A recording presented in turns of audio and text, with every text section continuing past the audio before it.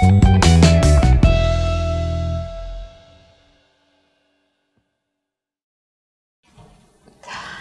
everyone, welcome to Admitad Academy. That's me again, Ekaterina Vasina. I'm Content Marketing Manager of the Academy. Today we are going to examine how we can make changes in the settings in our personal account in order to make work with Admitad even more convenient. I'm going to show everything on our test account which we use for the webinars and video recordings.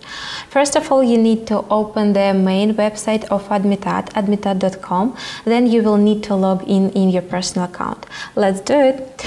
Okay, here we are on admitad.com. We need to log in.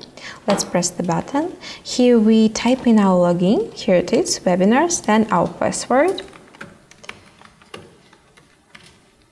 Okay, and here we go. We are on the main page of our personal account. Here you will see the reports where you can see all the clicks and the actions. But as we want to make changes, we need to press the gear in the, in the top corner of our web of the page. Okay, now you can see the common settings. Here you can change information in many fields. For example, your name, your email, and so on. But note that in order to make some changes, you will need to insert the password to your personal account once again. Okay, and one more important thing is that here you can add your mobile phone and you will need it, for example, to withdraw money when you have your reward. Make sure that you insert the real mobile phone because you will receive the confirmation code and you will need to insert it. Okay, let's move on. Our next tab is Ad Spaces.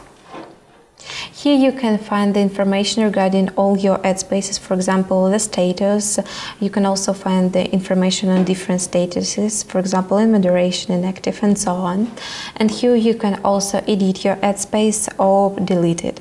And create the new one, let's do it. Press the button Create a ad space. Here you need to fill out all the fields once again the ad space type and so on and then you need to press add but we're not going to do it now. Let's move on. It's email notifications.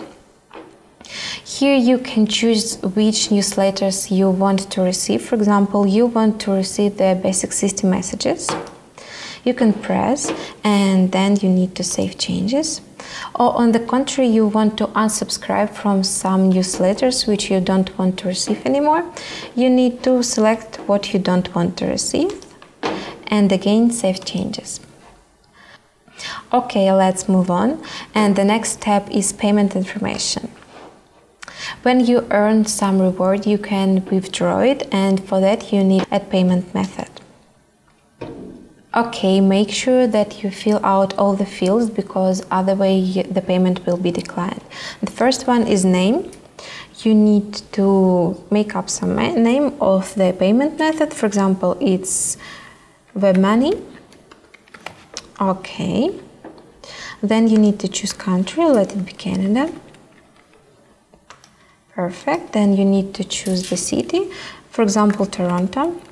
Of course, we are using the not, not real information, but you need to indicate the real and trustworthy one.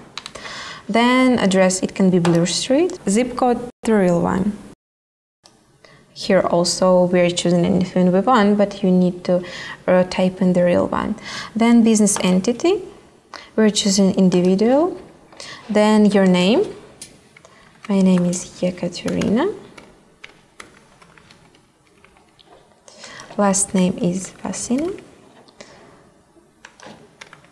And then you need to, to choose tax office. Let it be example. It's just an example for us. Then you need to indicate tax number. It's really important. If you skip this field, the payment will be declined. If you don't know your tax number or you simply don't have it, you can upload a scanned copy of your document, for example, of the passport. Then you need to choose the payment method, WebMoney as we named our payment, uh, account currency, USD or anything else, and then the, number of your wallet. Okay, now we're not going to create one, so we press cancel, but you need to press create. And we're moving on to the next step, it's guest accounts. Okay, this step you will need if you want to add some guests to your account in order to manage it all together. For example, you want to give an access uh, to your employee or to your assistant. Here how you can do it. You need to press on add an account.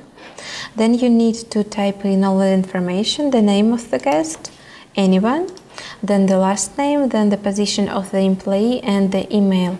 You need to insert the real email because the guest will receive the newsletter with the notification with the activation link. Then you can choose the tabs and the sections which the guest will have access to. For example, you can select all and then you will press invite the guest. Okay, let's move on. And the next step will be useful for those publishers who want to authorize the apps that uh, you use when working with Admin.ip. That's all regarding the settings. If we haven't answered any of your questions, you can press on support and ask our support team some question. You need to add new ticket and then ask it. Also, you can ask any questions in uh, the comments below this video. That's all for now. Subscribe to our channel. We will produce many more different useful videos. Thank you for your attention. Bye bye.